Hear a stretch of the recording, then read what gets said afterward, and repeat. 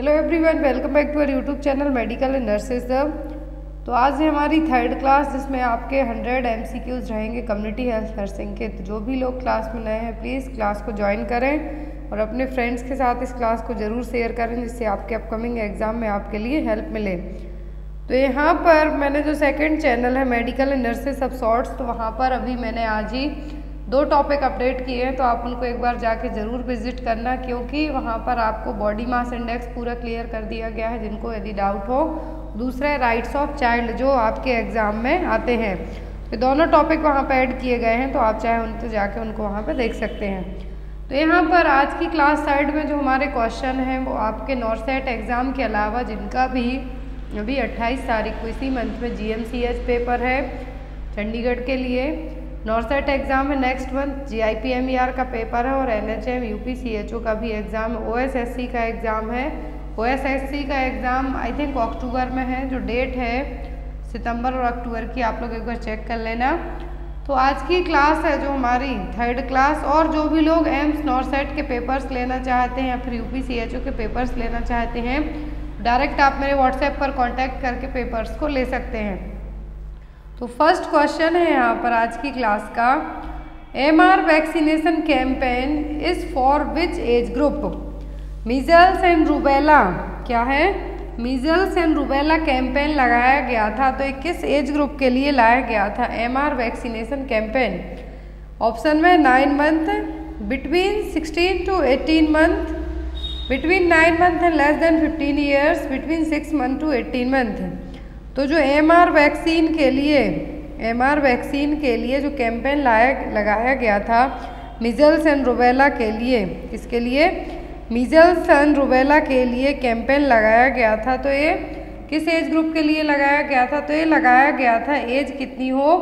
Between nine month and less month हो nine month से लेके बच्चे की एज पंद्रह साल तक। तो जब हम एम एम आर वैक्सीन ही देते हैं तो जब बच्चे की एज कितनी हो जानी चाहिए? नाइन मंथ कंप्लीट हो जाने चाहिए। Nine month two days three days fifteen days at least पूरे नौ महीने कंप्लीट हो जाने चाहिए। लेकिन जो एम आर वैक्सीनेशन कैंपेन है, क्या है? एम आर वैक्सीनेशन कैंपेन है, इसमें जो एज रखी गई थी, वो थी नौ महीने से लेके पंद्रह साल तक, जिसमें जो भी बच्चे ऑलरेडी एम एम और एम एम आर वैक्सीन लगवा चुके हैं, उनके लिए कैंपेन है जो लगाया गया था। तो यहाँ पर आपको एम आर वैक्सीनेशन का जो कैंपेन है एग्ज़ाम में आता है तो यहाँ पर याद रखना है एज नौ महीने से लेके इतनी नाइन मंथ लेकिन पंद्रह साल से कम। नौ महीने कंप्लीट हो जाने चाहिए, लेकिन पंद्रह साल से कम एज है जो रहनी चाहिए। और जो यहाँ पर नेशनल एमआर वैक्सीन का कैंपेन है आई थिंक फ़र्स्ट टाइम 2017 के आसपास लगाया गया था, लेकिन आप इसको फिर भी एक बार चेक कर लेना कि जो एमआर वैक्सीन है, इसका जो एज है तो मुझे कंफर्म है कि नौ महीने कंप्लीट होना चाहिए, लेकिन पंद्रह साल से कम होना चाहिए एज नेक्स्ट है यहाँ पर the quantity of hormone release by progestasert per day is ये क्वेश्चन मैंने आपको कल भी पढ़ाया था, जो हार्मोनल आईयूसीडी डिवाइस थी उसमें। तो जो क्वांटिटी होती है हार्मोन की प्रोजेस्ट्रॉन हार्मोन रिलीज़ करती है प्रोजेस्टासाइड तो प्रोजेस्टासाइड जो पर डे कितना हार्मोन रिलीज़ करेगी? 25 म्यूजी 45 म्यूजी 65 म्यूजी या फिर 85 म्यूजी तो जो प्रोजेस्टासाइड होती है पर डे रिलीज़ करती है 65 म्यूजी हार्मोन कितना? 65 म्यूजी हार्मोन। ये रही, यहाँ पर डिवाइस आपको डिवाइस की इमेज याद रखनी है एग्ज़ाम में आ सकती है। कॉमनली इसमें जो टोटल प्रोजेस्ट्रॉन होता है, वो होता है thirty five eight M G कितना? अड़तीस M G thirty eight M G लेकिन यदि पर डे इसके रिलीज़ करने की बात करें तो पर डे सिक्सटी फाइव म्यूजी हार्मोन है जो रिलीज़ करेगा। और इसका जो मोड ऑफ़ एक्शन होगा प्रोजेस्टासाइड का, ये क्या करेगा? जो थिक प्लग बनाएगा किसका? म्यूकस का, सर्वाइकल उसके यहाँ पर, जिससे जो स्पम है, वो पेनिट्रेट ना कर पाए। जब प्लग बन जाएगा, सर्वाइकल ओस क्लोज की जाएगी म्यूकस से, थिक म्यूकस प्लग से तो जो स्पम है, वो क्या होंगे? वो पेनिट्रेट ही नहीं हो पाएँगे, अंदर ही नहीं पहुँच पाएँगे। तो इसका मेन काम क्या है?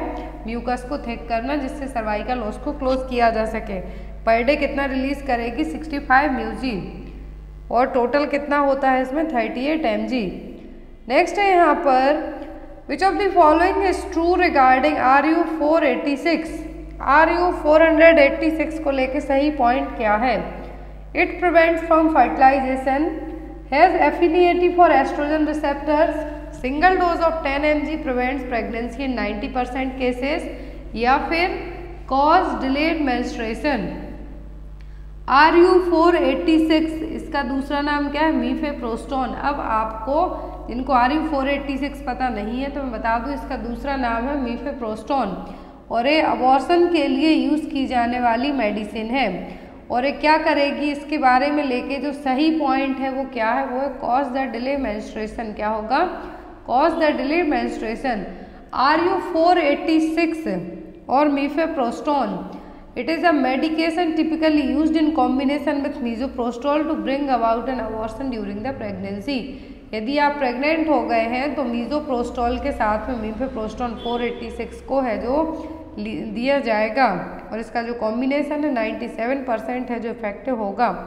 तो अब बात आती है मीफेप्रोस्टॉन की तो ये फर्टिलाइजेशन से प्रिवेंट करने का काम नहीं करेगी। और ये क्या है? प्रोजेस्ट्रॉन रिसेप्टर के प्रति क्या है? एफिलेट है। यहाँ पर ये जो एंडोमेट्रियम है, यहाँ पर प्रोजेस्ट्रॉन को ब्लॉक करने का काम करेगी। इम्प्लांटेशन को जो डेसिड्यूआ में सेडिंग हुई है, स्लगिंग हुआ है तो उसको इम्प्लांट होने से प्रिवेंट करेगी। सिंगल डोज इसका कितना होता है? Ten M G prevent the pregnancy यदि R U four eighty six को लिया जाए तो ये टेन एम जी तो प्रेगनेंसी को प्रिवेंट करेगी ninety nine point one percent case में। लेकिन ये मेनली जो R U four eighty six medicine है, किसके लिए यूज़ की जाती है? अबॉर्सन के लिए। और ये फ़र्स्ट ट्राइमेस्टर की जो प्रेगनेंसी होती है, उसी को अवॉइड करने में यूज़ किया जाएगा। नेक्स्ट वन है यहाँ पर vitamin A in vegetable source is called तो विटामिन ए को जो वेजिटेबल सोर्स है, क्या कहा जाएगा? रेटिनॉल कैरोटिन पेंटोथोनिक एसिड या फिर कैल्सीफेरॉल तो विटामिन ए डी ई के सभी क्या है? फैट सोल्यूबल विटामिन है। लेकिन विटामिन ए का वेजिटेबल सोर्स क्या कहलाएगा? कैरोटिन, क्या होगा? कैरोटिन। और यदि एनिमल सोर्स पूछे, याद रखें आप, यदि वेजिटेबल सोर्स पूछा है तो कैरोटिन, क्या है? कैरोटिन। यदि एनिमल सोर्स, जो लोग मांस मच्छी खाते हैं, उसके थ्रू आपको विटामिन मिलेगा तो वो होगा रेटिनॉल, दोनों याद रखना है। कैरोटीन है वेजिटेबल, जो वेजिटेरियन लोग हैं, उनको मिलेगा विटामिन ए का टाइप और जो रेटिनॉल है, जो लोग एनिमल फ़ूड खाते हैं, उनके लिए जो मिलेगा वो होगा रेटिनॉल।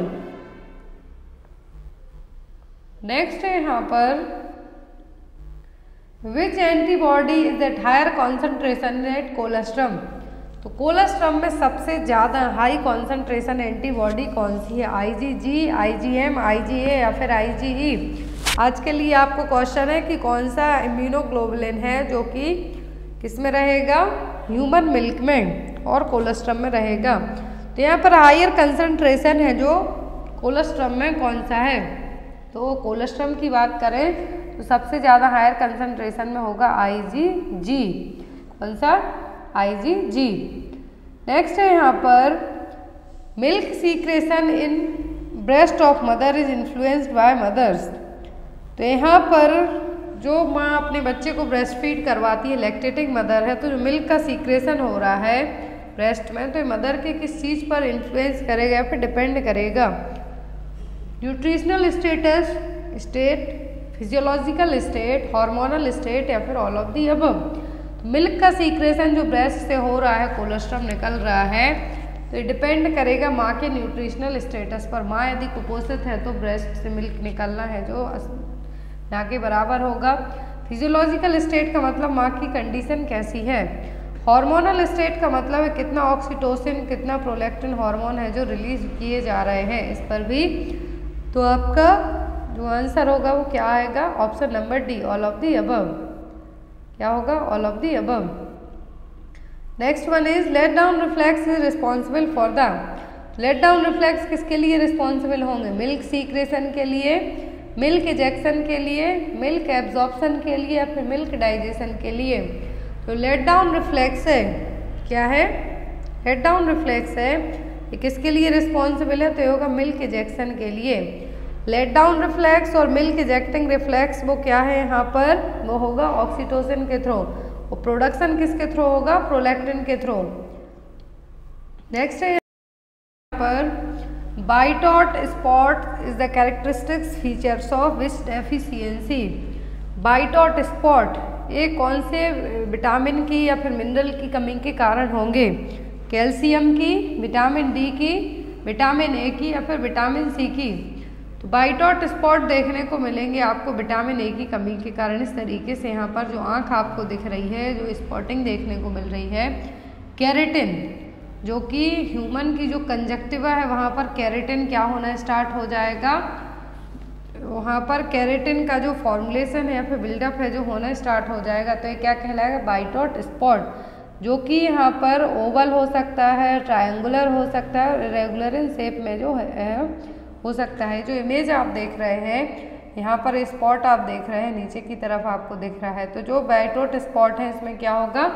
कैरेटिन बिल्डअप होना स्टार्ट होगा कहाँ पर? कंजक्टिवा में। ह्यूमन आइस की कंजक्टिवा में। कैरेटिन बनना स्टार्ट होगा जो कि या तो ओवल शेप में हो सकता है ट्रायंगुलर शेप में हो सकता है या फिर किसी भी शेप में हो सकता है, जो कि साइन है विटामिन ए की कमी का, जिससे कॉर्निया है जो कैसी रहेगी ड्राई रहेगी ड्राइनेस देखने को मिलेगी। और एक और क्वेश्चन आपको एग्ज़ाम में आता है, आँखों को लेके, कि जब आँखों की क्लीनिंग की जाती है आइस क्लीनिंग की जाती है तो कैसे की जाती है? इनर टू आउटर कैंथस आपको याद रखना है, जब भी आइस क्लीनिंग पूछी जाए तो inner to outer canthus next है यहाँ पर Alma Ata conference on health was held in तो अल्मा अटा कॉन्फ्रेंस है जो कब हुई थी? 12 सितंबर 1978 को 14 सितंबर उन्नीस सौ अड़सठ को 14 सितंबर 1978 को या फिर नब्दी अबब तो जो अल्माटा कॉन्फ्रेंस हुई थी, ये हुई थी 12 सितंबर 1978 को। कहाँ पर हुई थी ये? तो ये जो प्राइमरी हेल्थ केयर के लिए इस कॉन्फ्रेंस में जो प्राइमरी हेल्थ केयर है पीएससी है, इसको भी डिसाइड किया गया था 12 सितंबर 1978 को। पहले कजाकिस्तान था सोवियत सोशलिस्ट रिपब्लिक का जो यहाँ पर कंट्री है, कजाकिस्तान, वहाँ पर इसकी क्या हुई थी? बैठक हुई थी। फिर इसी में हेल्थ फॉर ऑल है, जो इसी बैठक के थ्रू है, जो हेल्थ फॉर ऑल 1978 में लिया गया था। नेक्स्ट वन है यहाँ पर which of the following is not a content of drug kit A provided at sub centre तो सब सेंटर में किट ए और किट बी प्रोवाइड करवाई जाती हैं। तो कौन सा कंटेंट है जो सब सेंटर में किट प्रोवाइड करवाई जाती है, वो उसका नहीं है। Oral rehydration salt tablet paracetamol और PCM tablet cotrimoxazole and last one is the vitamin D तो किट ए और किट बी दोनों कहाँ पर प्रोवाइड की जाती है? सब सेंटर में। अब सब सेंटर में जो किट होती है, किट ए उसमें जो नहीं होगा, वो होगा टैबलेट पैरासीटामोल क्योंकि जो टैबलेट पैरासीटामोल है सब सेंटर की किट बी में रहेंगी। आपने ये पढ़ा है कि kit A, kit B, sub centre में जो किट मिलेंगी, किट ए मिलेगी, किट बी मिलेगी। इनका कंटेंट मैंने आपको बोला था, आपको इनका कंटेंट याद रखना है। तो किट ए में जो सामान नहीं है, वो क्या होगा? वो होगा टैबलेट पैरासीटामॉल किट ए में होगा O R S iron folic acid की small and large tablet vitamin A solution और कॉटरी मैगजोल लेकिन यहाँ पर जो नहीं होगा, वो क्या होगा? टैबलेट पैरासीटामॉल नेक्स्ट वन है यहाँ पर which of the following contribute to growth monitoring of under five children तो इनमें से क्या है जो पाँच साल से कम एज की बच्चे अंडर फाइव ईयर चिल्ड्रन का मतलब है, जिनकी उम्र पाँच साल नहीं हुई है, उससे कम एज के बच्चे? क्या चीज़ें उनकी हेल्थ पर अफेक्ट करेंगी ग्रोथ पर? कैसे मॉनिटरिंग करेंगे? अपगार स्कोर से वेट मॉनिटर करके रोड टू हेल्थ चार्ट से, या फिर हेल्थ एजुकेशन से? तो जिन बच्चों की एज पाँच साल से कम है, किनकी, जिनके पाँच साल से कम है, यदि at the time of birth की बात करें कि बच्चा हेल्दी डिलीवर हुआ है, नहीं तो वो हम अपकार स्कोर से करेंगे।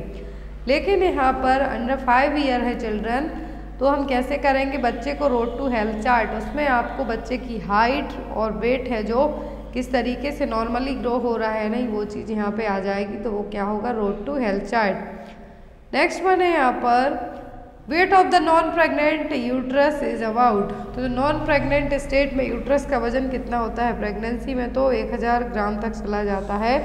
लेकिन जब नॉन प्रेग्नेंट स्टेट होती है तो यूट्रस का वेट कितना होगा? 30 से 40 ग्राम 60 से 80 ग्राम 80 से 100 ग्राम या फिर एक किलोग्राम। तो नॉर्मल नॉन प्रेगनेंसी में यूट्रस का वज़न होता है कितना? नॉर्मली होता है 60 से 80 ग्राम, कितना? 60 टू 80 ग्राम। नेक्स्ट वन है यहाँ पर removal of an entire lung is known as a question exam में आता है कि यदि पूरे लंग्स को ही हमने सर्जरी के थ्रू रिमूव कर दिया, क्या टर्म है जो यूज़ किया जाएगा? बायोलेबेक्टोमी न्यूमोनेक्टोमी लोबेक्टोमी या फिर प्लूरोटोमी तो कौन सा टर्म है जो यूज़ किया जाएगा जिसमें पूरे लंग्स को, क्या है? पूरे एंटायर लंग्स को ही रिमूव कर दिया जाएगा तो वो कहलाएगा न्यूमेक्टोमी क्या होगा? न्यूमोनेक्टोमी और न्यूमेक्टोमी एक सर्जिकल प्रोसीजर है, जिसमें लंग्स के किसी एक लोब को या फिर पूरे लंग को है जो रिमूव कर दिया जाएगा। यदि एक लोब को रिमूव किया जाता है तो वो होगा लोबेक्टोमी लेकिन यदि लंग के ज़्यादा पार्ट को सेगमेंट को रिमूव करेंगे तो वो होगा सिगमेनेक्टोमी लेकिन पूरे एंटायर लंग की बात हो रही है तो क्या कहलाएगा? न्यूमेनेक्टोमी नेक्स्ट वन है यहाँ पर the neonate is clean in the diversion of तो न्यूनेटल बेबी हुआ है। After the delivery new one baby को हम क्लीन करते हैं ड्राई करते हैं। तो बेबी की जब हम क्लीनिंग करते हैं, किस वे में करेंगे? Side by side back to front cephalocaudal या फिर ऑफ़ दी अबव जब हम बेबी की जो क्लीनिंग करते हैं तो किस मैनर में करेंगे? बच्चे को पहले साइड से पहुँचेंगे। क्लीन करेंगे, बैक से पहले पीछे क्लीन करेंगे, फिर आगे या फिर हेड टू टोय सेफेलो का मतलब हेड टू टोय तो जो यहाँ पर हम क्लीनिंग करेंगे वो होगी हेड टू टोय कौन सी? हेड टू टोय क्लीनिंग और सेफेलोफाइटल क्लीनिंग है जो करेंगे। नेक्स्ट वन है यहाँ पर फर्टिलाइजेशन टेक्स प्लेस एट तो फर्टिलाइजेशन कहाँ पर होता है? इंटरस्टियल स्पेस में इनफंडिबुलम में एम्पुला में या फिर ननबदीज में। तो फर्टिलाइजेशन कहाँ पर होता है? फेलोपियन ट्यूब के एम्पुला पार्ट में, कहाँ पर? फेलोपियन ट्यूब के एम्पुला पर। After the measurement of oral temperature the thermometer must be clean from तो यदि आपने ओरल टेम्परेचर चेक किया थर्मामीटर से तो ओरल टेम्परेचर चेक करने के बाद आप थर्मामीटर को किस तरीके से क्लीन करेंगे? फ्रंट से फ्रंट टू बैक से from stem to bulb of thermometer या फिर नन ऑफ़ दी अबम यदि आपने थर्मामीटर ओरल टेम्परेचर चेक किया है तो आप किस तरीके से क्लीन करेंगे? फ्रॉम स्टीम टू बल्ब कहाँ से? स्टीम से बल्ब की तरफ़. यहाँ पर जो आपको एक इमेज दिख रही है एग्ज़ाम में आई थी, इसलिए यहाँ पे ऐड की हुई है। लेकिन यदि आपको पूछा जाता है कि ओरल में बात हो रही है तो किस तरीके से क्लीन करना है? स्टीम टू बल्ब टेम्परेचर लेने के बाद थर्मामीटर कहते हैं तो आपको किस तरीके से क्लीन करना है? स्टीम टू बल्ब साइड कहाँ से? स्टीम टू बल्ब साइड और एक और इमेज दिख रही है NORCET two thousand twenty two में आई थी। तो ये है यहाँ पर, कौन सा थर्मामीटर है? ये भी एक थर्मामीटर का टाइप है। ये है वन टाइम यूज़ करने वाला थर्मामीटर देन आफ्टर आपको इसके लिए थ्रो कर देना है। नेक्स्ट है यहाँ पर Indian mental health act has been passed in the year तो इंडियन मेंटल हेल्थ एक्ट है जो कब पास हुआ था? एक क्वेश्चन भी एग्ज़ाम में आता है तो Indian mental health act pass हुआ था 1987 में. कब? उन्नीस में 1987 में. नेक्स्ट है यहाँ पर what is the normal position of uterus तो यूट्रस की नॉर्मल पोजीशन क्या है? एंटीबाइटेड एंटीफ्लेक्स्ड बोथ एंटीबाइटेड एंड एंटीफ्लेक्स्ड तो यहाँ पर जो आपके लिए क्वेश्चन लाए गए हैं, आपके नॉर्सेट के अलावा जो लोग सी एच ओ का एग्ज़ाम भी दे रहे हैं, उनके लिए भी हेल्पफुल रहने वाले हैं। तो यहाँ पर जो नॉर्मल पोजीशन होती है यूट्रस की वो होती है एंटीबाइटेड एंड एंटीफ्लेक्स्ड कैसी होगी? एंटीबाइटेड एंड एंटीफ्लेक्स्ड नेक्स्ट है यहाँ पर क्वेश्चन आपका most important question which of the following haemoglobin value denotes anaemia in a pregnant women तो कौन सी वैल्यू रिप्रेजेंट करेगी कि प्रेगनेंसी में जो लेडी है प्रेग्नेंट वुमेन है, उसको क्या हो गया? एनीमिया हो गया। एनीमिया का मतलब यहाँ पर हिंदी में कहें तो खून की कमी हो गई है उसके लिए। तो कौन सा टर्म है जो यहाँ कितनी वैल्यू है ये चीज़ रिप्रेजेंट करेगी? Haemoglobin 11 percent H B twelve percent H B nine percent या फिर एच बी थर्टीन परसेंट तो प्रेगनेंसी में हीमोग्लोबिन का जो लेवल है, जब नाइन परसेंट से भी कम हो जाए, तब लेडी किसमें कंसीडर की जाएगी? एनीमिया में। इसमें एनीमिया में। नॉर्मल वैल्यू होती होती है ट्वेल्व ग्राम पर डीएल लेकिन according to W H O के नॉर्मली आप यदि बात करते हैं तो यदि बिलो नाइन इलेवन जा रहे हैं, तब आपको क्या कहा जाएगा? एनीमिया। लेकिन प्रेगनेंसी में जब यही haemoglobin level nine to ten point nine gram पर डी चला जाता है मीन्स बिलो नाइन जाता है तो ये क्या है आपका?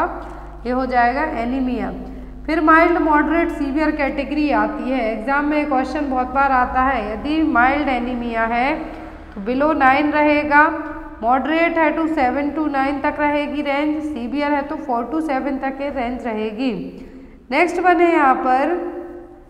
What is the duration of pregnancy in human being तो ह्यूमन बीइंग में प्रेगनेंसी कितने टाइम तक के लिए रहेगी? दस लूनार मंथ तक और ten lunar month nine calendar month plus seven days forty weeks या फिर ऑल ऑफ़ दी अबव तो जब हम एल एम पी कैलकुलेट करते हैं तो कैसे करते हैं? जिसमें नाइन जो first day of last menstrual period हम यूज़ करेंगे nine month plus seven days add करते हैं। टेन लूनार मंथ ऐड हो जाते हैं। यदि हम अट्ठाईस अट्ठाईस दिन का मंथ काउंट करेंगे तो वो यहाँ पर टेन लूनार मंथ हो जाएँगे। और वीक्स में करें तो फोर्टी वीक्स तो ये क्या हो जाएगा? ऑल ऑफ़ दी अबव का आंसर होगा D all of the above next one है यहाँ पर. Vitamin A supplementation is given to children from the age of one to six year for every तो जिन बच्चों की एज एक साल से छः साल तक हो जाती है तो उनको विटामिन ए सप्लीमेंट दिया जाता है। तो कब दिया जाता है? एवरी थ्री मंथ में एवरी सिक्स मंथ में ईयरली या फिर एवरी एट मंथ में। तो जिन बच्चों की एज एक से छः साल तक हो जाती है तो उनको विटामिन ए सप्लीमेंट दिया जाता है एवरी सिक्स मंथ में। कब? एवरी सिक्स मंथ में विटामिन ए का डोज है, जो दिया जाता है। कितना दिया जाता है? ये भी एग्ज़ाम में आता है। तो यदि बच्चे की एज बारह महीने से उनसठ मंथ तक फिफ्टी नाइन मंथ तक हम कहें, या फिर सिक्स ईयर तक कहें तो दो लाख यूनिट आयु। और यदि यहाँ पर एक साल से कम है तो छः महीने से ग्यारह महीने तक है तो एक लाख। नेक्स्ट है यहाँ पर breast is the modification of which gland तो ब्रेस्ट है, एक इस ग्लैंड का मॉडिफिकेशन है चेंजेबल फॉर्म है। सेबेसियस ग्लैंड का बर्थोलिन ग्लैंड का स्वेट ग्लैंड का, या फिर एंडोक्राइन ग्लैंड का। तो जो ब्रेस्ट है, किसका मॉडिफिकेट मॉडिफिकेशन है? कौन सी ग्रंथि का मॉडिफिकेशन है? तो ये स्वेट ग्लैंड का, किसका? स्वेट ग्लैंड जिसको यहाँ पर ब्रेस्ट को क्या कहा जाता है? मेमरी ग्लैंड जो कि मिल्क प्रोडक्शन में बेबी के लिए जो मिल्क प्रोडक्शन है, ये हेल्प करेगा, वो क्या है? मेमोरी ग्लैंड और ब्रेस्ट नेक्स्ट वन है यहाँ पर कॉन्ट्रैक्शन स्ट्रेस टेस्ट इसकी इमेज आपको एग्ज़ाम में आती है तो कॉन्ट्रैक्शन स्ट्रेस टेस्ट के लिए क्या कहा जाता है? Oxytocin challenge test stress test both and B या फिर नन ऑफ़ दी अब तो हमने नॉन स्ट्रेस टेस्ट पढ़ा है स्ट्रेस टेस्ट पढ़ा है तो यहाँ पर कॉन्ट्रैक्शन स्ट्रेस टेस्ट जो एन एग्ज़ाम में आपको आता है इमेज दी हुई रहती है, एक जो प्रेग्नेंट लेडी होती है, पेट में एक बेल्ट बांधे रहेगी तो वो क्या है, वो है यहाँ पर कॉन्ट्रैक्शन स्ट्रेस टेस्ट इसको हम क्या कहते हैं ऑक्सीटोसिन चैलेंज टेस्ट जो प्रेगनेंसी में फीटस किस तरीके से आपके जो कॉन्ट्रैक्शन आ रहे हैं यूट्राइन कॉन्ट्रैक्शन आ रहा है, उसमें किस तरीके से वो कोप कर पा रहा है, वो चीज़ें यहाँ पे चेक की जाएँगी। नेक्स्ट है यहाँ पर the process of development of a matured ovum is called तो मैच्योर ओवम जो मैच्योर एग है, उसका पूरी प्रोसेस होना डेवलपमेंट की क्या कहलाएगा? ओब्यूलेशन ऊफोरिया ऊजेनेसिस या फिर ऊसाइड तो क्या टर्म है जो यूज़ किया जाएगा? जो टर्म यूज़ होगा, वो क्या कहलाएगा? ओव्यूलेशन नेक्स्ट वन है यहाँ पर। Which of the following stage of labour is called the observational stage देखिए लेबर की चार स्टेज होती है first second third fourth first stage कहलाती है cervical dilatation stage, second stage कहलाती है बेबी की एक्सपल्सन स्टेज, थर्ड स्टेज होती है placental expulsion stage, third stage में प्लेसेंटा बाहर आएगा, फोर्थ स्टेज होती है ऑब्जर्वेशनरी स्टेज। तो यहाँ पर आपका जो क्वेश्चन है कि ऑब्जर्वेशनरी स्टेज कौन सी है तो वो fourth stage of labour. Next है यहाँ पर, परपीरियम स्टार्ट्स विथ तो परपीरियम पीरियड कब स्टार्ट होता है? एक्सपल्सन ऑफ़ द फीटस से एक्सपल्सन ऑफ़ द प्लेसेंटा से, इनिशिएशन ऑफ़ ब्रेस्ट फीडिंग से या फिर ऑनसेट ऑफ़ लेबर से। जो परपीरियम स्टार्ट होता है, वो होता है जब प्लेसेंटा एग का एक्सपल्सन हो जाता है और नॉर्मल परपीरियम पीरियड का जो ड्यूरेशन होता है, वो होता है सिक्स वीक या फिर फोर्टी टू डेज़ कितना? सिक्स वीक या फिर forty two days next one is the hormone that is injected to pregnant women at the time of delivery तो डिलीवरी के टाइम पर कौन सा हार्मोन इंजेक्ट किया जाता है? प्रोजेस्ट्रॉन ऑक्सीटोसिन प्रेडेसोलॉन या फिर नन ऑफ़ दी अबव तो जो हार्मोन इंजेक्ट किया जाता है at the time of contraction delivery के टाइम पर जो यूट्राइन कॉन्ट्रैक्शन आते हैं, उनको और ज़्यादा इम्प्रूव करने के लिए जो हार्मोन हम देते हैं वो कौन सा होता है? Oxytocin hormone oxytocin hormone pregnancy के यूट्राइन कॉन्ट्रैक्शंस के अलावा जब जो ब्लीडिंग होती है पीपीएच होता है, उसको कंट्रोल करने के लिए भी ये यूज़ किया जाता है। नेक्स्ट है यहाँ पर plotting of partograph should started तो पार्टोग्राफ में एक ग्राफिकल रिप्रेजेंटेशन आता है। तो पार्टोग्राफ हमें कब स्टार्ट करना है? Active phase of first stage of labour latent phase of first stage of labour second stage of labour या फिर थर्ड स्टेज ऑफ़ लेबर में। तो पार्टोग्राफ हमें कब यूज़ करना है? तो पार्टोग्राफ स्टार्ट करना है हमें कब? Active phase of first stage of labour जब सर्विक्स चार सेंटीमीटर या फिर उससे ज़्यादा डायलेट हो जाए, तब हमें क्या करना है? पार्टोग्राफ स्टार्ट करना है। पार्टोग्राफ के कंपोनेंट्स आते हैं तो वो cervical dilatation descent of the foetal head uterine contraction है जो इसमें यूज़ किया जाएगा। तो इसमें पार्टोग्राफ का आपको इमेज आ सकती है एग्ज़ाम में पूछा जा सकता है कि ये क्या है, क्या कंपोनेंट होते हैं तो ये पार्टोग्राम, जिसमें मदर की इन्फॉर्मेशन नाम एज लिखा जाता है फीटल वेलबींग मतलब फीटल की हार्ट रेट क्या है लिक्वर कितना है लिक्वर का मतलब यहाँ पर एमनियोटिक फ्लूड का कैरेक्टर क्या है लेबर की प्रोग्रेस क्या है, कितने डायलिटेशन हो चुका है सर्विक्स का किस तरीके के कॉन्ट्रैक्शन आ रहे हैं, कौन सी मेडिकेशन दी हुई, दी गई है पेनरिलीफ दिया गया है पैथिडिन दी गई है कि ऑक्सीटोसिन दिया गया है। तो ये सभी चीज़ें इसमें क्या की जाएँगी? ऐड की जाएँगी। ये रहा यहाँ पर, जो पार्टोग्राफ का फॉर्मेट आपको एग्ज़ाम में आ सकता है तो यहाँ पर नेम होगा ग्रेविडा कितनी बार प्रेग्नेंट है, कितनी प्रेगनेंसी हुई है हॉस्पिटल का नंबर आप कितने टाइम से एडमिट हैं, ये सभी चीज़ें यहाँ पर लिखी जाएँगी। नेक्स्ट है यहाँ पर which stage of puerperium period is called remote stage तो परपीरियम तो हमने पढ़ लिया कि भैया सिक्स वीक का टाइम है परपीरियम कहलाएगा। अब यहाँ पर रिमोट स्टेज कौन सी कहलाएगी? परपीरियम पीरियड है जो रिमोट स्टेज क्या है? Within twenty four hour after the child birth early up to seven days up to six week या फिर नन ऑफ़ दी अबव तो परपीरियम डिलीवरी होने के बाद जब प्लेसेंटा का एक्सपल्सन हो गया तो परपीरियम पीरियड स्टार्ट होता है। वो फोर्टी टू डेज़ तक रहेगा या फिर सिक्स वीक तक रहेगा। तो यहाँ पर रिमोट स्टेज कौन सी कहलाएगी? अप टू सिक्स वीक तक की स्टेज क्या कहलाएगी? रिमोट स्टेज जिसमें पूरा जो सिक्स वीक का पोस्टमार्टम पीरियड है परपीरियम पीरियड है, इसमें जो नॉन प्रेग्नेंट स्टेज में आपके जेनाइटल ऑर्गन है नॉन प्रेग्नेंट स्टेज में रिवर्ट होंगे। फ़र्स्ट होती है इमीडिएट परपीरियम जो कि फ़र्स्ट 24 आवर की होगी।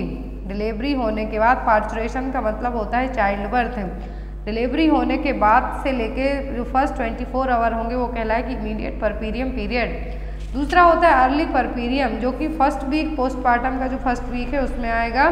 फिर आता है यहाँ पर रिमोट परपीरियम जिसमें कब का टाइम लिया जाएगा? अप टू सिक्स वीक तक। नेक्स्ट वन है यहाँ पर the failure of uterus to its normal sizes तो यदि यूट्रस अपनी नॉर्मल साइज़ में वापस रिवर्ट नहीं हो पाई तो हम क्या कहेंगे? इन्वोल्यूजन सब इन्वोल्यूजन रिट्रैक्शन या फिर ऑल ऑफ़ दी अब तो कौन सा टर्म है जो यूज़ किया जाएगा? तो यदि यूट्रस अपनी नॉर्मल वापस साइज़ में नॉन प्रेग्नेंट स्टेज में रिवर्ट बैक नहीं हो पाई तो ये कहलाएगा इन सब इन्वोल्यूजन क्या कहलाएगा? सब इन्वोल्यूजन सब इन्वोल्यूजन का जो मेन कॉज होता है, वो होता है यहाँ पर या तो प्लेसेंटा प्रीविया हो सकता है या फिर सॉरी प्लेसेंटा प्रीविया नहीं, यहाँ पर यहाँ पर जो फ़र्स्ट कॉमन कॉज होता है यूट्राइन यूट्रस का जब वापस अपनी कंडीशन में बैक नहीं हो पाती है वो होगी मेनली पीपीएच के कारण हो सकता है या फिर यूट्राइन अटोनोसिटी के कारण हो सकता है। नेक्स्ट वन है यहाँ पर strongest stimulation for lactation is by तो स्ट्रोंगेस्ट स्टिमुलेशन होगा लैक्टेशन का किसके थ्रू मेट क्लोरप्रामाइड के थ्रू, सकलिंग के थ्रू, पीपीएच के थ्रू या फिर ब्रोमोक्रिप्टीन के थ्रू। तो ये मेडिकेशन इनके नाम एग्ज़ाम में आते हैं, इनका लेना देना लैक्टेशन से ही है। तो यहाँ पर स्ट्रॉन्ग स्टिमुलेशन कब होगा लैक्टेशन का? ब्रेस्ट फीडिंग के लिए तो वो होगा जब बेबी सक करेगा। इस चीज़ पर डिपेंड करेगा सक करने पर बेबी के। यहाँ पर फिजियोलॉजी आती है लैक्टेशन की। तो यहाँ पर लैक्टेशन का स्टिमुलेशन जो स्ट्रॉन्ग स्टिमुलेशन है वो क्या होगा? सक करना बेबी का सकलिंग अब यहाँ पर फिजियोलॉजी होती है लैक्टेशन की तो इसमें पाँच स्टेज होती है। लैक्टेशन का मतलब है मिल्क का बनना किस तरीके से बनेगा। फ़र्स्ट होती है mammogenesis mammogenesis that means development of breast to a functional state तो ब्रेस्ट फंक्शनल स्टेट में आने की स्टेज क्या कहलाएगी? मेमोजेनेसिस फिर आती है लैक्टोजेनेसिस लैक्टोजेनेसिस में जो ब्रेस्ट एलिबुलाई है, वहाँ पर सिंथेसिस और सीक्रेशन होना मिल्क का।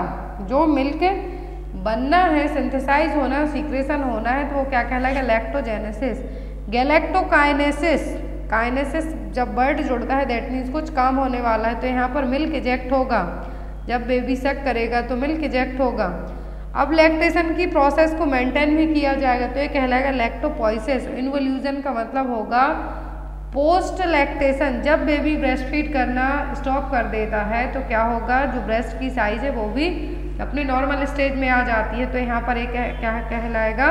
Involution of breast next one है यहाँ पर a case of 28 week pregnancy with pain and bleeding diagnosis यदि 28 वीक की प्रेगनेंसी है पेन हो रहा है ब्लीडिंग हो रही है तो ये क्या है? प्रीमेच्योर लेबर है थ्रेटेंड अबॉर्शन है प्लेसेंटा प्रीविया है, फिर एक्सीडेंटल हेमरेज है।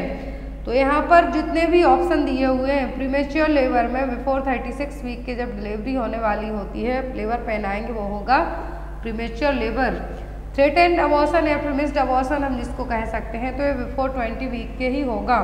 प्लेसेंटा प्रीविया में क्या होगा? ब्लीडिंग होगी, लेकिन पेन नहीं होगा. अब ये क्या है? एक्सीडेंटल हेमरेज है.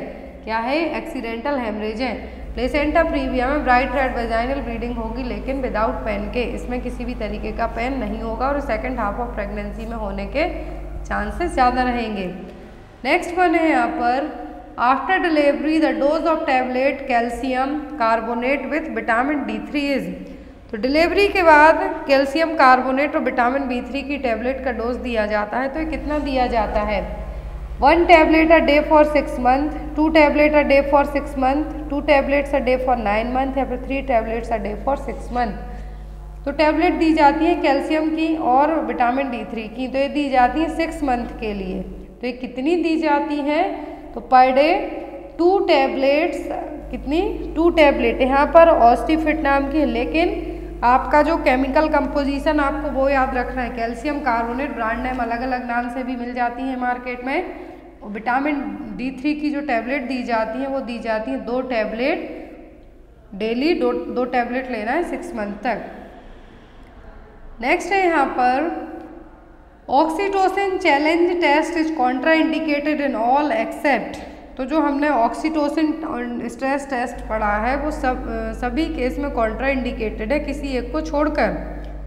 प्रीवियस टू सजेरियन सेक्शन यदि आपके दो बार पहले सजेरियन सेक्शन हो चुका है एलएससीएस के थ्रू डिलीवरी हुई है, तब oxytocin challenge test contraindicate रहेगा। History of preterm labour preterm labour की हिस्ट्री रही है तब भी oxytocin challenge test contraindicate होगा।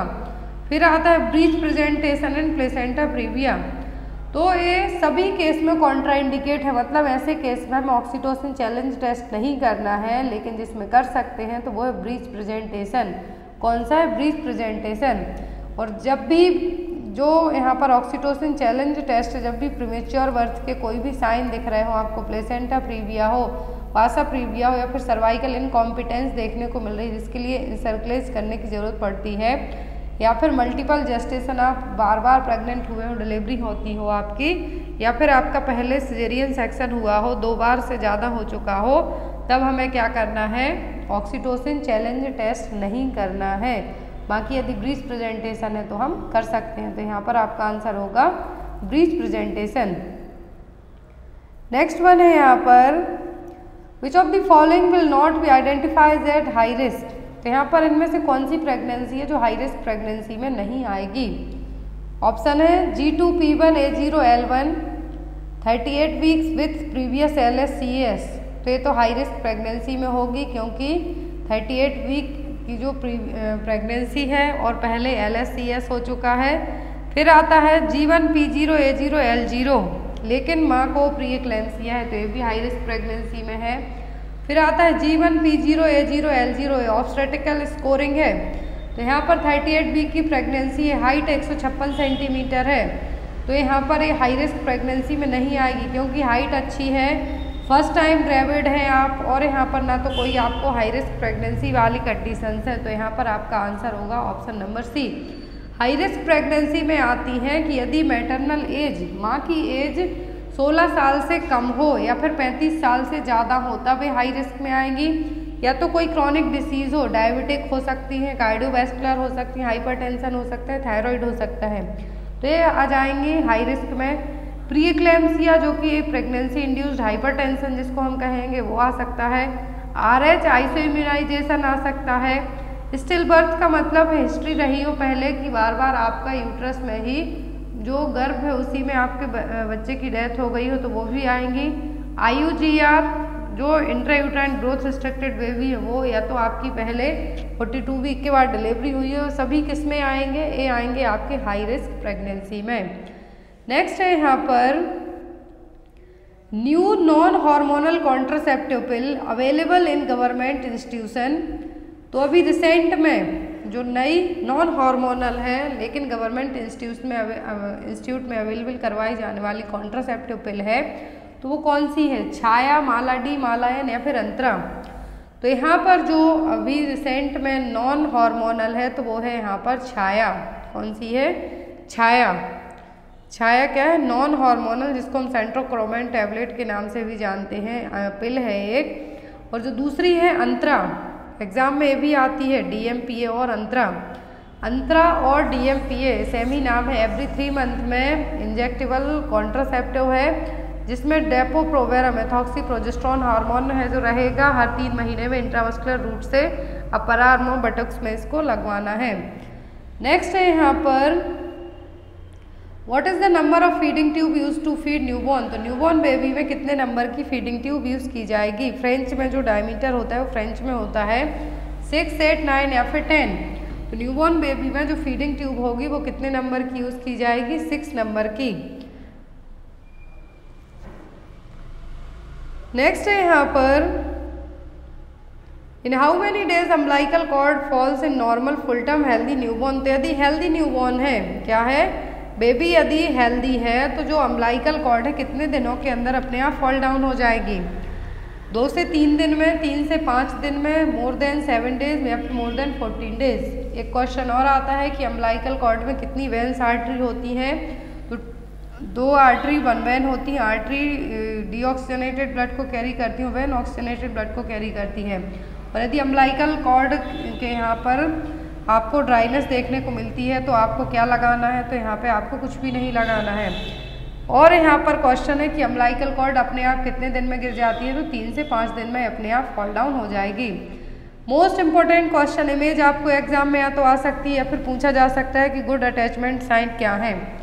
तो क्वेश्चन है यहाँ पर good attachment sign of breast feeding are all except good attachment sign का मतलब है यहाँ पर कि जब बच्चा ब्रेस्ट फ़ीड करता है तो सभी मतलब बच्चा प्रॉपर तरीके से क्या कर पा रहा है ब्रेस्ट फ़ीड कर पा रहा है तो सभी गुड अटैचमेंट साइन है। लेकिन किसी एक को छोड़कर ऑप्शन में है यहाँ पर baby's mouth widely open lower lip turn inward baby's chin touch the breast majority of areola is inside baby's mouth अब यहाँ पर आप आंसर दीजिए कि गुड अटैचमेंट साइन कौन सा है? जब बच्चा ब्रेस्ट फ़ीड कर रहा है, अपनी माँ का दूध पी रहा है तो सही अटैचमेंट साइन क्या होंगे? फ़र्स्ट बेबी अपना मुँह वाइडली ओपन करेगा। लोअर लिप है, वो आउटवर्ड होगा, बाहर की तरफ़ होगा। बेबी का चिन्ह है जो मदर के ब्रेस्ट को टच करेगा। एरियोला है जो जो मेजर पार्ट है, और सबसे ज़्यादा है जो एरियोला बेबी के माउथ में होगा। अब यहाँ पर आप बताइए कि आपका आंसर क्या होगा? क्वेश्चन पूछा एक्सेप्ट करके। तो आपका आंसर होगा option number B lower lip turn the inward जबकि ये हमेशा क्या होता है? बाहर की तरफ़ होगा आउटवर्ड होगा। यहाँ पर देखिए गुड अटैचमेंट साइन में baby has a large mouth full of breast chin firmly touching the breast fully rounded cheeks रहेंगे। बेबी जब अपनी फीडिंग फिनिश कर लेगा तो वो अपने आप ही ब्रेस्ट को छोड़ देगा। और यहाँ पर पेन फ्री होगी ब्रेस्ट फीडिंग जब आप बेबी को ब्रेस्ट फ़ीड कराएँगे तो क्या होगा? पेन फ्री ब्रेस्ट फीडिंग होगी। नोज़ है जो बहुत ज़्यादा क्लोज रहेगी। नेक्स्ट है यहाँ पर below what weight hepatitis B vaccine is not recommended to be given तो जब यहाँ पर बच्चे का वज़न यहाँ पर what weight sorry below what weight hepatitis B vaccine is not recommended to be given तो यहाँ पर कितना वज़न है? यदि कितने वेट से कम है बच्चे का वज़न, तब हम उसको हेपेटाइटिस बी वैक्सीन नहीं देंगे। तो at the time of birth vaccine दी जाती है hepatitis B vaccine BCG vaccine and oral polio vaccine अब यहाँ पर बात की जा रही है कि हेपेटाइटिस बी वैक्सीन हम कितने वज़न के बच्चे को नहीं दे सकते हैं। दैट मीन्स यहाँ पर यदि बच्चे का वज़न कितना हो, दो किलो से भी कम हो बच्चे का वेट टू के से कम होता है, तब हम उसको हेपेटाइटिस बी वैक्सीन नहीं दे सकते। हम उस टाइम तक वेट करेंगे कि बच्चे का वज़न है जो कितना हो जाए, दो किलो क्रॉस कर जाए टू के क्रॉस हो जाए, तब हम उसको हेपेटाइटिस बी इंट्रामस्कुलर रूट से है जो दे सकते हैं। लेकिन जब तक हमें हेपेटाइटिस बी वैक्सीन नहीं देना है, जब तक कि बच्चे का वज़न कितना हो जाए, दो किलो से ज़्यादा ना हो जाए, दो किलो से कम के बच्चे को, जब बच्चे का वेस्ट टू के से कम होगा हम उसको हेपेटाइटिस बी वैक्सीन नहीं दे सकते। नेक्स्ट वन इज़ अब यहाँ पर आपको या तो इमेज आ सकती है इस तरीके के क्वेश्चन की, या फिर आपके लिए डायरेक्ट पूछा जा सकता है। क्वेश्चन है यहाँ पर fertilisation of two different ovum release in the same cycle is known as दो डिफरेंट ओबम लेकिन जो एक ही सेम मेंस्ट्रुअल साइकिल में रिलीज़ हुए हैं, उनका यदि फर्टिलाइजेशन होगा तो वो क्या कहलाएँगे? सुपरफिटेशन सुपरफिकंडेशन फीटस अकार्डियाकस या फिर फीटस पेपरिस तो क्या टर्मिनोलॉजी यूज़ की जाएगी? यदि एक सेम साइकिल में दो डिफरेंट ओवम रिलीज़ हुए हैं और उनका फर्टिलाइजेशन हो जाता है तो वो क्या कहलाएँगे? वो कहलाएँगे सुपर फीकंडेशन क्या कहलाएँगे? सुपर फीकंडेशन सुपरफिटेशन, दोनों टर्म अलग अलग है। सुपर फीकंडेशन का मतलब कि एक सेम साइकिल में जो दो ओवम रिलीज़ हुए फर्टिलाइज हो गए तो वो सुपर फीकंडेशन सुपरफिटेशन का मतलब है fertilisation of two ovum in different cycle दो ओवम हैं जो अलग अलग मेंस्ट्रुएशन साइकिल में क्या हुए हैं इंटरकोर्स करने के बाद जो यहाँ पर फर्टिलाइजेशन हुआ है, दो ओवम का जो दो अलग मेंस्ट्रुअल साइकिल में रिलीज़ हुए हैं उनका वो प्रोसेस कहलाएगी सुपरफिटेशन सुपरफिटेशन में देखिए इस इमेज से इजीली क्लियर होगा आपको। मान लीजिए, एक ओबम है जो। एक ओवम यदि आज रिलीज़ हुआ है, आज फर्टिलाइजेशन हुआ है तो आफ्टर जो सेकेंड 28 डेज़ की यदि मान लीजिए नॉर्मल मेंस्ट्रुअल साइकिल है तो उसमें रिलीज़ होता है। तो यहाँ पर जो दो बार अलग अलग दो बार फर्टिलाइजेशन होता है तो वो क्या कहलाएगा? सुपरफिटेशन क्योंकि यहाँ पर जो मेंस्ट्रुअल साइकिल है वो अलग अलग है। नेक्स्ट वन है यहाँ पर cord prolapse is defined as तो कॉर्ड प्रोलैप्स का मतलब क्या है? When the size of cord is short cord having multiple infection conditions cord is located outside the vulva cord is lying inside the vagina तो cord prolapse के लिए जो term use किया जाएगा वो होगा यहाँ पर कि जब कॉर्ड है जो आउटसाइड द बुलवा दिखाई दे, कहाँ पर? आउटसाइड द वल्वा तो ये होगा कॉर्ड प्रोलैप्स क्लिनिकल टाइप होते हैं कॉर्ड प्रोलैप्स के ओवर्ट कॉर्ड प्रोलैप्स जब कॉर्ड वेजाइना में रह जाएगी, लेकिन क्या है? Cord lies inside the vagina और outside the vulva following the rupture of membrane जो कि मोस्ट कॉमन टाइप है। कॉर्ड और फ्यूनिक प्रेजेंटेशन जो कि कॉर्ड कहाँ हो जाएगी? स्लिप डाउन हो जाएगी प्रेजेंटिंग पार्ट से। तो क्या होगा? कॉर्ड प्रेजेंटेशन फिर आता है ऑकुल्ट कॉर्ड प्रेजेंटेशन जिसमें यहाँ पर क्या है? The cord is placed by the side of the presenting part and is not felt by the fingers presenting part में स्लिप हो गई है, लेकिन इंटरनल एग्जामिनेशन जब आपने किया तो उस टाइम पर ये फील नहीं होगी। कॉर्ड प्रोलैप्स होता है तो जो पोजीशन दी जाती है पेशेंट के लिए वो कौन सी पोजीशन है, जिससे हम यदि कॉर्ड प्रोलैप्स हो गई है तो उसको पेशेंट से क्या कर सकते हैं? कॉर्ड प्रोलैप्स के पेशेंट कॉर्ड प्रोलैप्स हो गई यदि किसी पर्सन की फीमेल की तो उसको हम ट्रेंड लाइन वर्क पोजिशन दे के प्रिवेंट कर सकते हैं। Next and most important question anterior fontanelle is ossified at तो एंटीरियर फॉन्टेनल है किस एज में ऑसिफिकेशन होगा? मतलब यहाँ पर क्या हो जाएँगे? एक तरीके से हम कहें तो मर्ज हो जाएँगे। ऑसिफिकेशन हो जाएगा। ऑप्शन में one month after the birth two month after the birth sorry six month after the birth eighteen month after the birth या फिर twenty five month after the birth तो यहाँ पर जो फॉन्टेनेल है, क्या है फॉन्टेनेल इनका ऑसिफिकेशन होगा तो यदि इनिशियली सबसे पहले जो ऑसिफिकेशन होता है, वो होता है पोस्टीरियर फॉन्टेनेल का। किसका? पोस्टीरियर फॉन्टेनल का। और बाद में होता है एंटीरियर का। एंटीरियर का होता है 18 month after the age 18 month after the age में क्या होगा यहाँ पर? एंटीरियर फॉन्टेनल है क्लोज होंगे। एंटीरियर फॉन्टेनल का नाम है ब्रैगमा जो कि लार्ज रहेंगे। पोस्टीरियर फॉन्टेनल का दूसरा नाम है लेमडा जो कि स्मॉल शेप में रहेंगे। और जो एंटीरियर है एंटीरियर फॉन्टेनल ब्रैगमा है, डेढ़ साल की एज में या फिर हम अठारह महीने कह सकते हैं इस एज में क्या हो जाते हैं, इनका ऑसिफिकेशन हो जाएगा।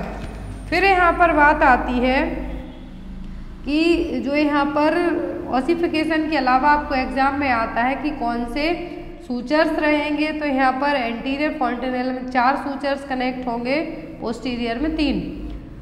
नेक्स्ट है यहाँ पर during intrauterine life neural tube is closed completely तो इंट्रायूट्राइन लाइफ में न्यूरल ट्यूब है, जो कब क्लोज हो जाते हैं? On very first day on fifth day by eleventh day या फिर by fourth to fifth day तो कहा जाता है कि कंसीव करने से लेके ही या फिर कंसीव करने के पहले से ही फॉलिक एसिड की टैबलेट ली जाना स्टार्ट कर जाती हैं। क्यों? क्योंकि न्यूरल ट्यूब डिफेक्ट से हम बच सकें जेडी को प्रिवेंट कर सकें। तो यहाँ पर जब हमें बेबी को प्रिवेंट करना है एनटीडी से तो जो वही न्यूरल ट्यूब है, कब क्लोज हो जाती है यूट्राइन लाइफ में? तो ये हो जाती है फोर्थ टू फिफ्थ डे में। कब? फोर्थ टू फिफ्थ डे में क्या हो जाती है? क्लोज हो जाएगी। नेक्स्ट वन है यहाँ पर। Recommended disinfecting specific to killing to corona virus तो कोरोना वायरस को किल करने के लिए कौन सा डिसइनफेक्टेंट है जो कि यूज़ किया जाएगा? ऑप्शन में कार्बोलिक एसिड लाइजॉल फिनॉइल या फिर सोडियम हाइपोक्लोराइड तो जो मोस्टली डिसइनफेक्टेंट है, वो है एचआईवी के जो लिनन हो जाए या फिर एड्स पेशेंट के कपड़े हो जाए या फिर कोरोना वायरस वाले तो क्या होगा? सोडियम हाइपोक्लोराइड नेक्स्ट वन है यहाँ पर visual acuity reach adult acuity by the age of तो जो विजुअल एक्विटी है जो एडल्ट एक्विटी तक है, जो किस साल में हो जाएगी? सात, नौ, पाँच या फिर तीन में? बच्चे की जो विजन एक्विटी है विजुअल एक्विटी वो एडल्ट में कब तक पहुँच जाएगी? सात में। At the age of seven normal visual acuity होती है यहाँ पर ट्वेंटी यहाँ पर स्नेलन चार्ट से विजुअल एक्विटी को चेक किया जाता है। वन बाय सिक्सटीन डिग्री जो क्या है? नॉर्मल विजन है और परफेक्ट विजन माना जाता है one by one hundred degree तक। लेकिन यदि जब आपको बात आती है एग्ज़ाम में क्वेश्चन दिया जा सकता है कि स्नेरल चार्ट को आप कितने दूर खड़े होकर रीड आउट करेंगे। तो स्नेरल चार्ट को रीड किया जाता है बीस फीट तक। आपसे और स्नेल चार्ट के बीच का जो गैप है कितना होना चाहिए? ट्वेंटी फीट का है जो होना चाहिए और फिर उसको यहाँ पर रीड आउट किया जाता है। नेक्स्ट वन है यहाँ पर। The antenatal diagnosis of all of the following condition is feasible except तो सभी केस में यदि एंटीनेटल डायग्नोसिस हो जाता है तो फीजिबल है। किसी एक को छोड़कर। Huntington chorea Down syndrome severe combined immunodeficiency syndrome या फिर एन इंसेफेली एंटीनेटल डायग्नोसिस का मतलब है कि जब बच्चा यूट्रस में ही है, उस टाइम पर हम टेस्ट के थ्रू क्या कर सकते हैं कंफर्म कर सकते हैं कि बच्चे को ये डिसीज़ है, किसी एक को छोड़कर। तो Huntington chorea Down syndrome anencephaly ये सभी चीज़ें जो स्टार्टिंग में आई थिंक फोर्थ और फिफ्थ मंथ में जो सोनोग्राफी होती है जिसको हम क्या कहते हैं? ऑर्गन प्रॉपर बने हैं या नहीं सभी तरीके की जो फिफ्थ मंथ में स्कैनिंग होती है, उसमें आप इन चीज़ों को डायग्नोस कर सकते हैं। डाउन सिंड्रोम हो गया हंटिंगटन कोरिया होगा एन एनसेफेली होगा तो ये डॉपलर टेस्ट होगा, उसमें पता चल जाता है। लेकिन सीवियर कंबाइंड इम्यूनोडेफिशिएंसी को आप फाइंड आउट नहीं कर सकते हैं एंटीनेटल डायग्नोसिस में। ये आपको आफ्टर द डिलीवरी बेबी में है या नहीं, तभी आप इसको फाइंड आउट कर पाएँगे। नेक्स्ट वन है यहाँ पर। Highest incidence of marasmus is seen in which तो मरासमस के सबसे ज़्यादा केस हैं किसमें किस तरीके के बच्चों में देखने को मिलेंगे? न्यूबॉर्न बेबी में इन्फेंसी पीरियड में स्कूल गोइंग चिल्ड्रन में या फिर टोडलर ग्रुप में? तो मरासमस सबसे ज़्यादा देखने को मिलता है इन्फेंसी पीरियड में किसमें इन्फेंसी पीरियड में जिनकी एज एक साल से कम होती है क्वासी कर देखने को मिलता है टोडलर एज ग्रुप में। किसमें? टोडलर एज ग्रुप में। सबसे ज़्यादा जो मरासमस देखने को मिलेगा एक साल से कम एज के बच्चों में, जिसको इन्फेंसी पीरियड कहेंगे। क्वासियोर कर देखने को मिलेगा जिन बच्चों की एज एक से तीन साल तक हो। नेक्स्ट है यहाँ पर neonatal mortality rate is calculated by estimating the number newborn death within how many days neonatal mortality rate में जो न्यूबॉर्न बेबी की डेथ कंसीडर की जाती है तो कितने दिनों तक की की जाती है? ट्वेंटी फोर आवर की, अट्ठाईस दिन की वन वीक की या फिर वन ईयर की? तो जो न्यूनेटल मोर्टेलिटी में कंसीडर किया जाता है कि बच्चे की एज कितने दिन तक की हो गई हो? अट्ठाईस दिन की। कितनी?